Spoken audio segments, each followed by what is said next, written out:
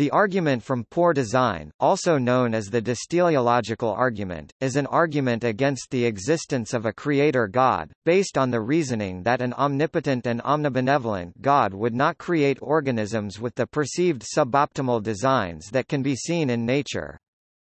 The argument is structured as a basic modus tollens, if creation contains many defects, then design is not a plausible theory for the origin of our existence. It is most commonly used in a weaker way, however, not with the aim of disproving the existence of God, but rather as a reductio ad absurdum of the well-known argument from design, which argues that living things are too well designed to have originated by chance, so must have been deliberately created by an intelligent God. Although the phrase, argument from poor design has seen little use. This type of argument has been advanced many times using words and phrases such as poor design, suboptimal design, unintelligent design, or dysteleology, dysteleological. The last of these is a term applied by the 19th-century biologist Ernst Haeckel to the implications of organs so rudimentary as to be useless to the life of an organism. Haeckel, in his book The History of Creation, devoted most of a chapter to the argument, ending with the proposition perhaps with tongue slightly in cheek of a theory of the unsuitability of parts in organisms, as a counter-hypothesis to the old popular doctrine of the suitability of parts. The term, incompetent design, a play on intelligent design, has been coined by Donald Wise of the University of Massachusetts Amherst to describe aspects of nature that are currently flawed in design. Traditional theological responses generally posit that God's creation was perfect but that humanity's misuse of its free will to rebel against God has resulted in the corruption of good design.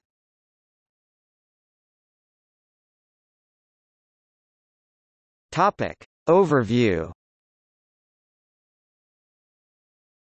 The argument runs that an omnipotent, omniscient, omnibenevolent creator God would create organisms that have optimal design. Organisms have features that are suboptimal. Therefore, God either did not create these organisms or is not omnipotent, omniscient and omnibenevolent. It is sometimes used as a reductio ad absurdum of the well-known argument from design, which runs as follows. Living things are too well designed to have originated by chance.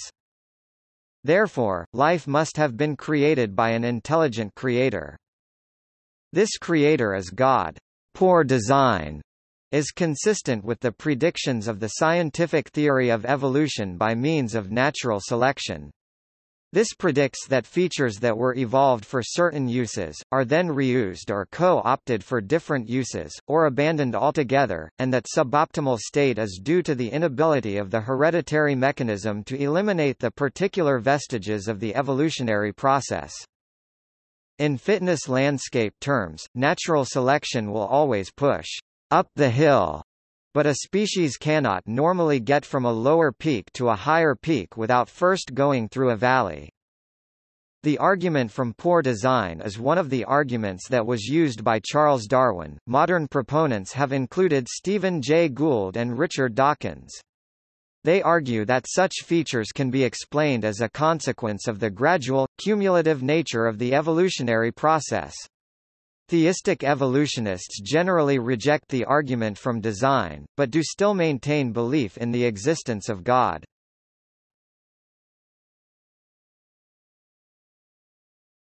Topic. Examples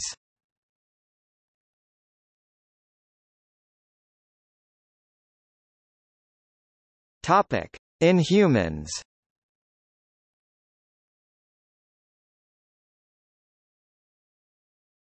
Topic: Fatal flaws. Several defects in human anatomy can result in death, especially without modern medical care. In the human female, a fertilized egg can implant into the fallopian tube, cervix or ovary rather than the uterus causing an ectopic pregnancy. The existence of a cavity between the ovary and the fallopian tube could indicate a flawed design in the female reproductive system. Prior to modern surgery, ectopic pregnancy invariably caused the deaths of both mother and baby. Even in modern times, in almost all cases the pregnancy must be aborted to save the life of the mother. In the human female, the birth canal passes through the pelvis. The prenatal skull will deform to a surprising extent. However, if the baby's head is significantly larger than the pelvic opening, the baby cannot be born naturally. Prior to the development of modern surgery caesarean section, such a complication would lead to the death of the mother, the baby, or both. Other birthing complications such as breech birth are worsened by this position of the birth canal. In the human male, testes develop initially within the abdomen.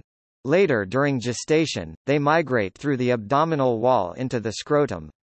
This causes two weak points in the abdominal wall where hernias can later form. Prior to modern surgical techniques, complications from hernias, such as intestinal blockage and gangrene, usually resulted in death. The existence of the pharynx, a passage used for both ingestion and respiration, with the consequent drastic increase in the risk of choking. The breathing reflex is stimulated not directly by the absence of oxygen but indirectly by the presence of carbon dioxide. A result is that, at high altitudes, oxygen deprivation can occur in unadapted individuals who do not consciously increase their breathing rate. The human appendix is a vestigial organ with no known purpose suggested purposes are either unproven or incidental, non-essential and no deleterious effects come from its removal. However appendicitis, an infection of this organ, is a certain death without medical intervention.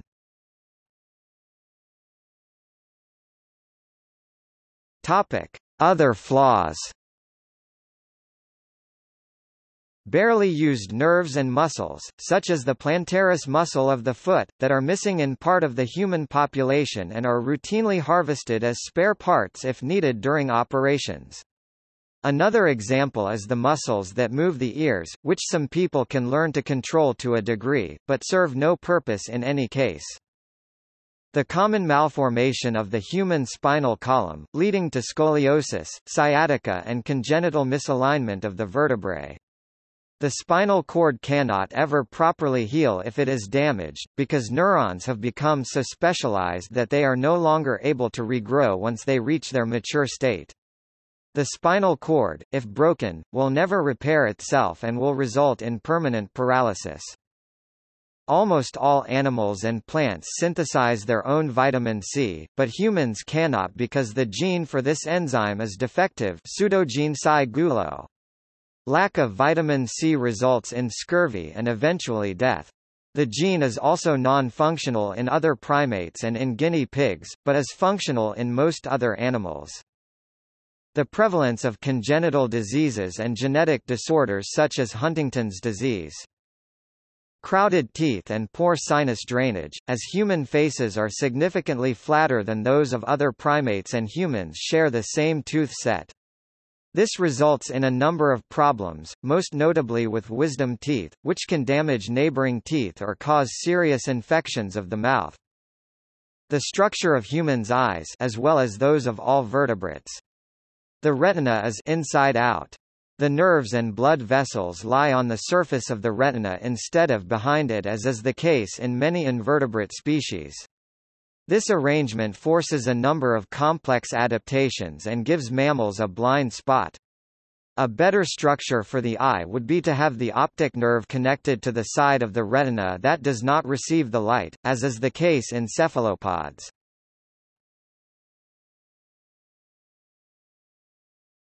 Topic: Other life. In the African locust, nerve cells start in the abdomen but connect to the wing.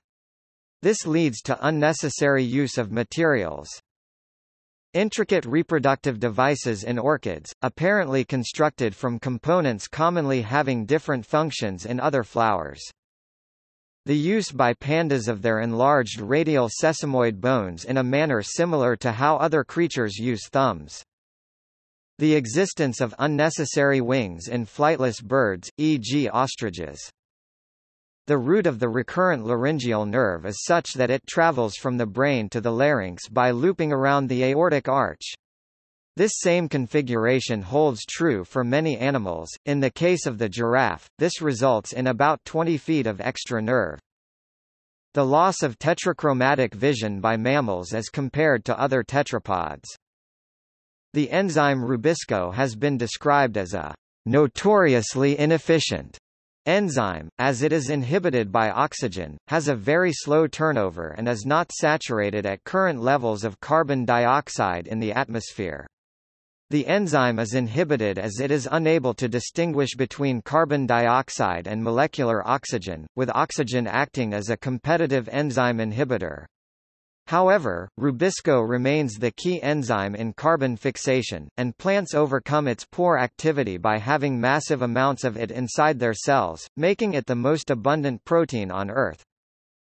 The enzyme nitrogenase actually preferentially binds with acetylene over dinitrogen, despite its being the key enzyme used in nitrogen fixation in many bacteria and archaea. Sturdy but heavy bones, suited for non-flight, occurring in animals like bats. Or, on the converse, unstable, light, hollow bones, suited for flight, occurring in birds like penguins and ostriches, which cannot fly. Various vestigial body parts, like the femur and pelvis in whales evolution says the ancestor of whales lived on land. Turritopsis dohrnii and Hydra genus have biological immortality, but most animals do not. Many species have strong instincts to behave in response to a certain stimulus. Natural selection can leave animals behaving in detrimental ways when they encounter a supernormal stimulus, like a moth flying into a flame. Plants are green and not black, as chlorophyll absorbs green light poorly, even though black plants would absorb more light energy. Whales and dolphins breathe air, but live in the water, meaning they must swim to the surface frequently to breathe. Albatrosses cannot take off or land properly,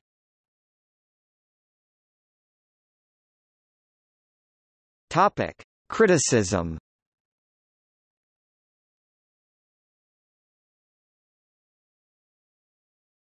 Topic: Unproven assumptions. Several generic philosophical criticisms can be directed towards the first premise of the argument, that a creator deity would have designed things optimally. The argument hinges on an assumption that the human concept of optimal design is the same as that of a theistic God.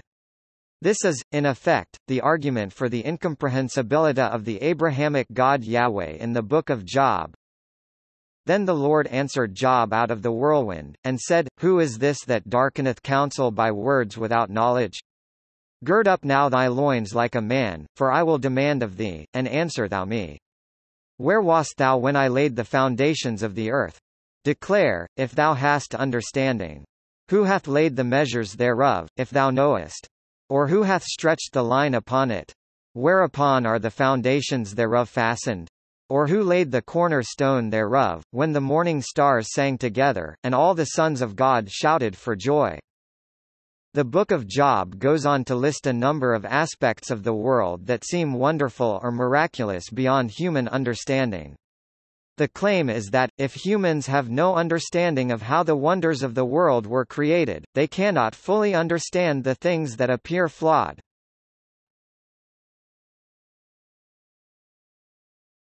Topic. Optimal design engineering and trade-offs Others argue that the observed suboptimality in one system or another is intentional, as a trade-off to improve overall optimal design.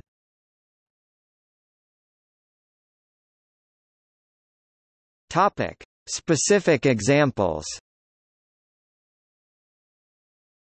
Intelligent design proponent William Dembski questions the first premise of the argument, maintaining a distinction between intelligent design an Optimal Design. An article written by John Woodmorappe on the Creation Ministries International website says that the panda's thumb works well for what the panda uses it for, to strip leaves. While the appendix has been previously credited with very little function, research has shown that it serves an important role in the fetus and young adults. Endocrine cells appear in the appendix of the human fetus at around the 11th week of development, which produce various biogenic amines and peptide hormones, compounds that assist with various biological control homeostatic mechanisms. In young adults, the appendix has some immune functions. Creationist Jonathan Sarfati and ophthalmologist Peter Gurney have both published articles on the Creation Ministries International website which disagree that the human eye is poorly designed, arguing that alternative arrangements would have further complications and that the human eye actually works very well.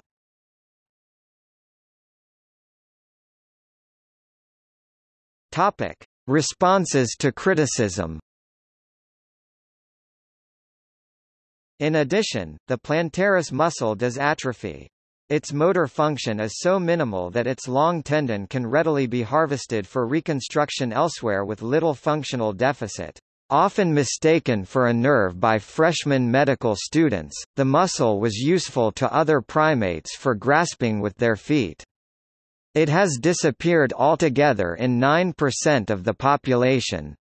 In response to the claim that uses have been found for junk DNA, proponents note that the fact that some non-coding DNA has a purpose does not establish that all non-coding DNA has a purpose, and that the human genome does include pseudogenes that are nonfunctional junk with others noting that some sections of DNA can be randomized, cut, or added to with no apparent effect on the organism in question. The original study that suggested that the Makorin 1P1 served some purpose has been disputed. However, the original study is still frequently cited in newer studies and articles on pseudogenes previously thought to be nonfunctional.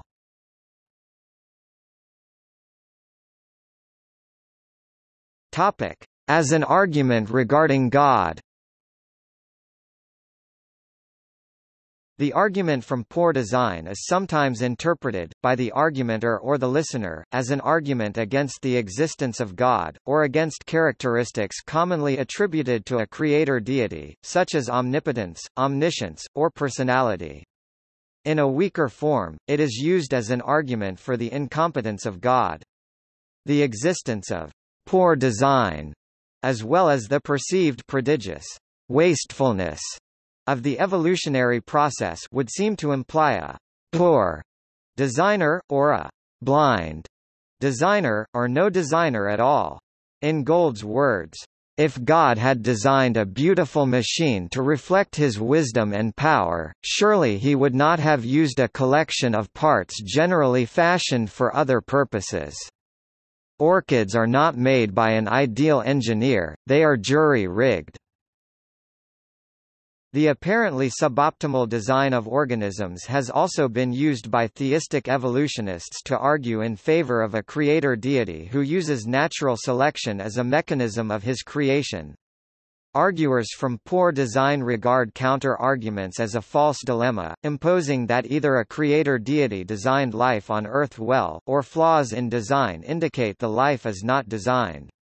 This allows proponents of intelligent design to cherry-pick which aspects of life constitute design, leading to the unfalsifiability of the theory. Christian proponents of intelligent design as evidence of the existence of the Abrahamic God Yahweh can claim that good design indicates the creative intelligence of their God, while poor design indicates corruption of the world as a result of free will that caused the fall Genesis chapter 3 verse 16 has Yahweh saying to Eve, I will increase your trouble in pregnancy.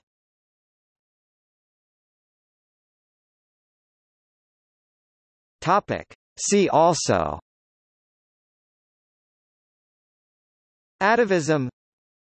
Vestigiality. Maladaption. Human vestigiality